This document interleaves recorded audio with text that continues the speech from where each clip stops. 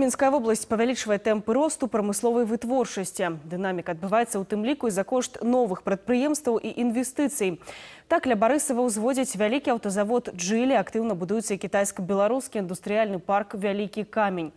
Значная роля ў мінскага абласнога тэхнапарка. Ён паспяхова працуе на тэрыторыі смалявіцкага раёна. Алексей Кандраценко даведаўся, хто з яго рэзідэнтаў вырабляе інавацыйную і запатрабаваную прадукцыю.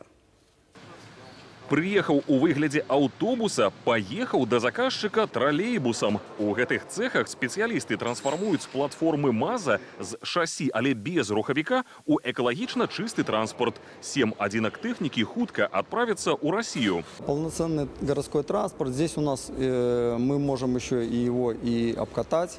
Вот на дороге у нас есть специальный прицеп для обкатки. Шасціметровыя празрыстыя лісты трапляюць на гэта прадпрыемства з гомеля. Дзякуючы сучаснаму абсталяванню, асабліва вялікай печы, тут яго раскрояць пад любы памер заказчыкаў з усёй Беларусі. Пасля таго, як шкло загартавалі, з яго атрымліваюцца вітражы для офісаў ці гандлёвых цэнтраў. Закаленное стекло обладает э, повышенной прочностью, оно очень крепкое.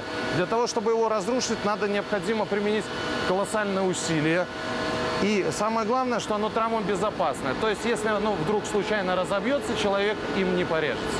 Адзін з галоўных праектаў мінскага абласнога тэхнапарка рэцыклінг зношаных аўтамабільных шын.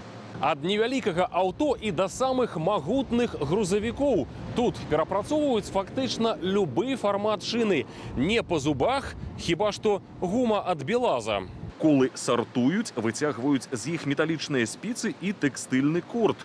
У выніку атрымліваюць крошку. З яе робяць пешаходнае пакрыццё, спартыўныя корты і бегавыя дарожкі.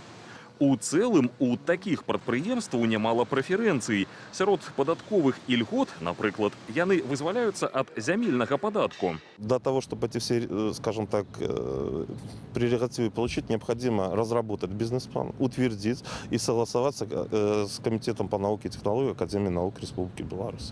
После этих, скажем так, мероприятий, то, как к нам приходит уже готовый резидент, Між тым чарговы крок зроблены і ва ўзвядзенні кітайска-беларускага індустрыяльнага парка вялікі камень. Напярэдадні з КНР у Беларусь прыбыў першы цягнік з будматэрыяламі для лагістычнага комплексу аднаго з найбуйнейшых рэзідэнтаў. Аб'ект здадуць ужо ў канцы восені. Алексей Кантраценко і Дзяніс Гаціла, агенцтва Тэленавін.